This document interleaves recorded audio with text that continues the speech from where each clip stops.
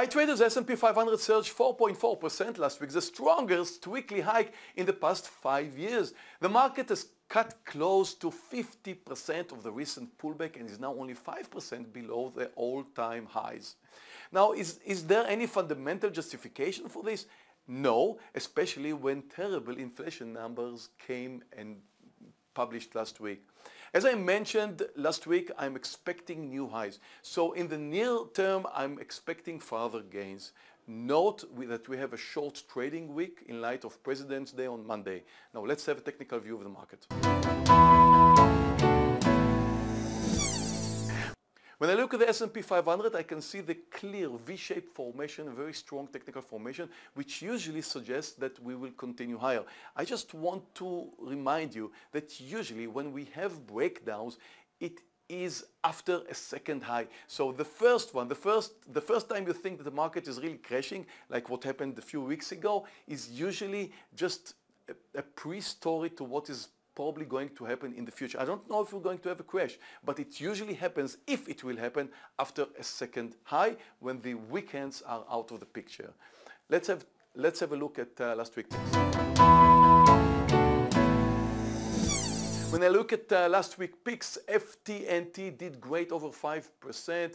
A nice backwind from the market. As usual, we sell three quarters and now holding just a quarter size, hoping for a new high. Uh, the next uh, trade was uh, CNK. CNK did very well too, up by 5%. And again, we sell three quarters at a 3% gain and holding just a quarter size. Let's have two picks for this week.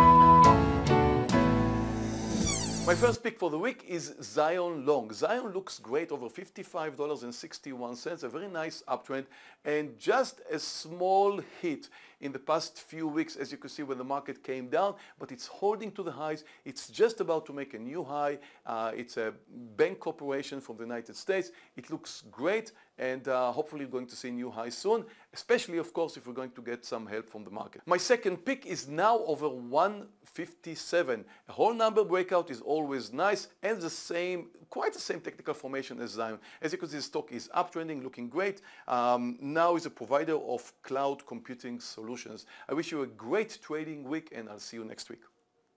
Thank you for watching my video. Do you have what it takes to become a trader?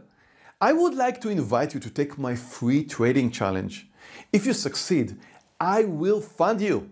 You will get free access to a $14,000 trading account which you can trade from home and earn 70% of the profits you generate. No risk, no cost. Just click here and join now.